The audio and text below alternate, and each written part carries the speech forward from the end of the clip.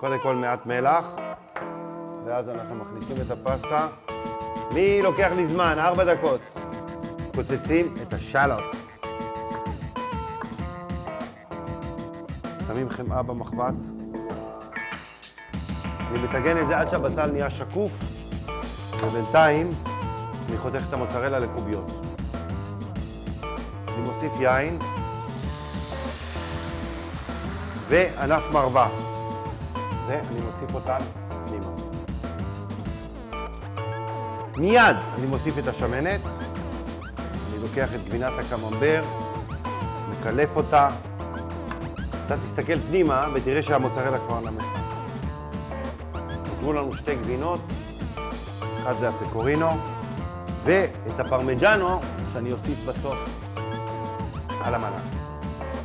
הרוטב מוכן והפסטה מוכנה. כל מה שנשאר לי עכשיו זה לטבל את זה עם מעט מלח, פלפל. חבר'ה, הרגע הגדול. בכוונה אני לא מסנן את כל המים, כי המים האלה עם מלח ועם המילן מהפסטה, ולכן הם טובים לי כדי להסמיך את הרוטב. מערבבים, לוקחים פסטה, ו...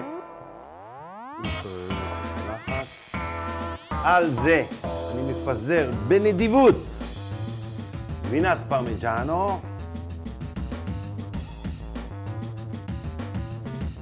אה!